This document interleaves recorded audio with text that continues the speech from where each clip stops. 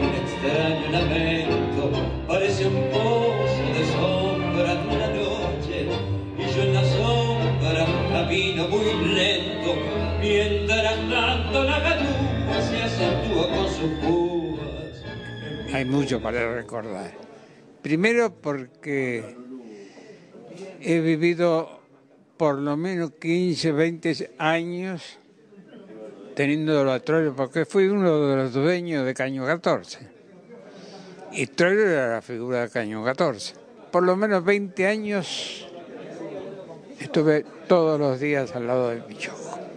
Él fue para toda esa camada de pibes que empezábamos a tocar, yo empecé con Astor, Piazzolla, pero para toda esa camada de pibes, el gordo Pichuco era la gran figura. El gordo este, necesita un homenaje de tipo por, por ser pichuco, ¿no? Lo que fue nacional. Yo creo que el gordo se merece ser una figura ya, un patriarca de la nación argentina.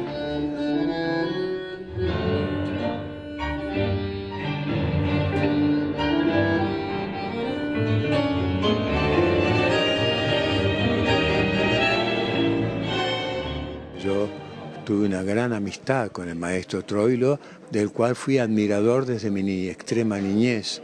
Eh, y, que él me diera bola y que me, diera su amistad era para mí una, un, un mundo iluminado por la noche de Buenos Aires.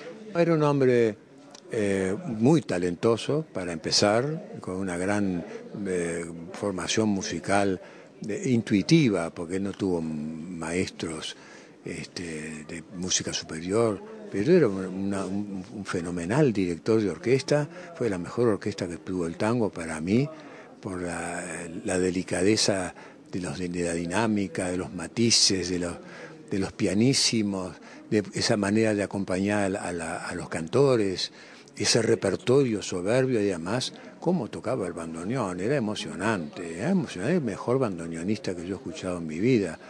Los propios bandoneonistas dicen que era un mágico.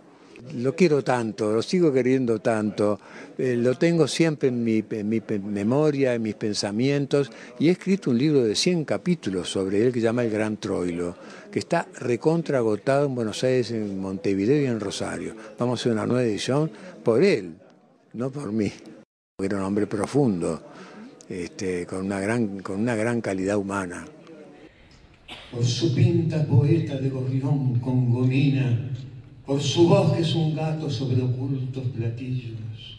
Los enigmas del vino le acarician los ojos y un dolor le perfuma la solapa y los astros. Grita el águila taura que se posa en sus dedos, convocando a los hijos en la cresta del sueño, a llorar como el viento con las lágrimas altas, a cantar como el pueblo por milonga y por llanto.